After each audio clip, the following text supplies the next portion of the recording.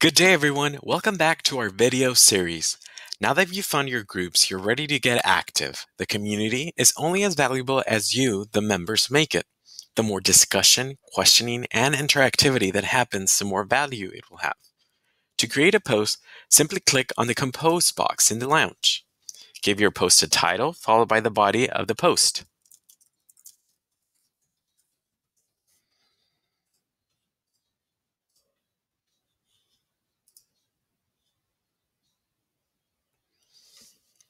If you want to make a change or update to a post that's already active, just find it in the feed and click on the three dots in the top right corner.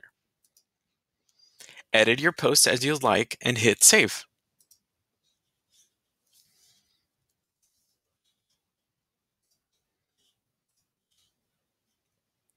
If something you published is outdated and needs to be removed, you can do so. Find the post that you would like to delete in the feed and click on the three dots in the top right corner. Click the Delete Post option. Don't worry, it will not delete automatically. You will get a pop-up window asking you if you're sure. Remember that the post will be deleted only in the Lounge feed. If you have sent the post via email, they will remain in the email that you have sent. And that's a wrap. Be sure to tune in to our next video where we will show you how to filter the member directory and how to create private and group chats.